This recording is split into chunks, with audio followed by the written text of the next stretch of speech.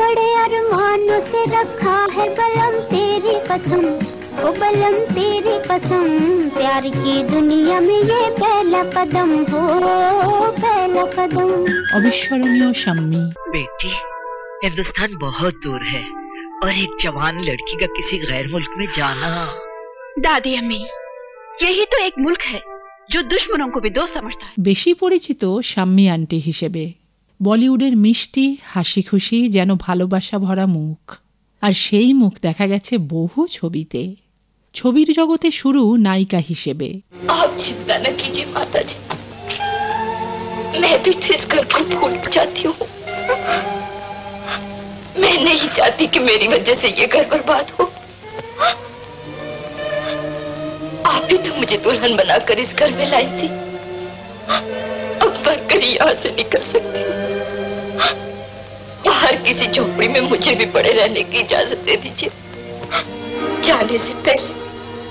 मैं सिर्फ एक बार अपने चांद को देख लेना चाहती हूँ एक बार देख लेना चाहती हूँ अपने चांद পরে অবশ্য দেখা মিলেছে পার্শ্ব চরিত্রে তার বেশিরভাগই কিছুটা কমিক আভাস ऐसा हमेशा के लिए तो नहीं है जी करीब दो ढाई महीने जी हुए हाँ दो ढाई महीने तीन एक दिन हुए होंगे और सीढ़ियों से गिर पड़ा था दिमाग को कुछ अंदरूनी चोट पहुंच गई जी हाँ इस जगह और तब से हम लोगों की ये हालत हो गई है देखिए देखिए ना हमारी भी क्या बदकिस्मती है एक ही तो लड़का है वो वो भी जब अपने माँ बाप को नहीं पहचाने तो सोचिए हम लोगों पर क्या गुजरती होगी देखिए जरा अंदर से बुला दीजिए ना Please. देखिए पहचान पाता है या नहीं জন্ম উনিশশো উনতিরিশে তবে জন্মসাল নিয়ে কিছুটা মতান্তর রয়েছে আসল নাম নার্গিস রাবারি দুশোরও বেশি হিন্দি ছবিতে অভিনয় করেছেন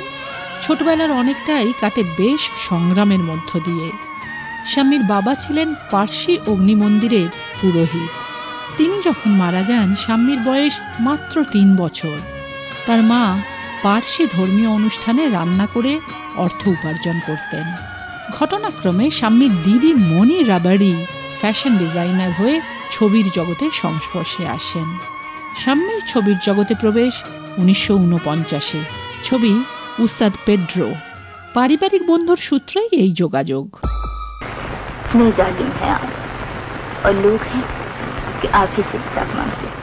উনিশশো উনপঞ্চাশ থেকে উনিশশো সত্তরের মধ্যে তার অভিনীত সফল ছবিগুলোর মধ্যে রয়েছে ইলজাম আজাদ ভাই বেহেন দিল আপনা আর প্রীত পাড়ায় প্রভৃতি ছবি।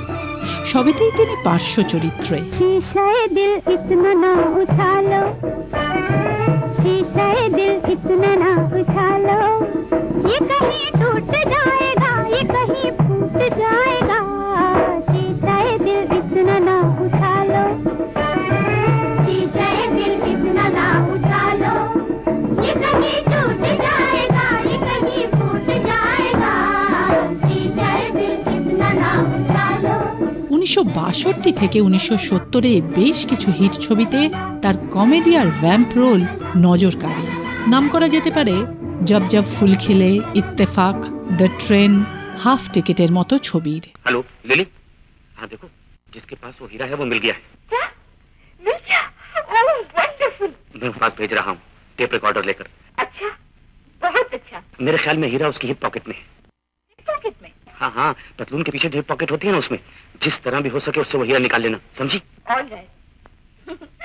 don't worry darling উনিশশো সত্তরের গোড়ার দিকে তাকে দেখা যায় নায়কদের মায়ের চরিত্রে কিছু উত্থান পতন চড়াই উতরাই কিছু বিরতি সবকিছু নিয়েই তার কর্মজীবন তারই মাঝে প্রশংসা কুড়োয় তার অভিনীত টিভি সিরিয়াল দেখ ভাই দেখ गुड मॉर्निंग समधन जी गुड मॉर्निंग अरे तीन दिन से देख रही हूँ कि आप उसी मैगजीन में वही आर्टिकल पढ़ रही हैं अरे बहन जी इस मैगजीन ने तो मेरी आंखें खोल दी ऐसी ऐसी बातें लिखी हुई हैं जो हम हमारे जमाने में सोच भी नहीं सकती করেছেন আরও কিছু সিরিয়াল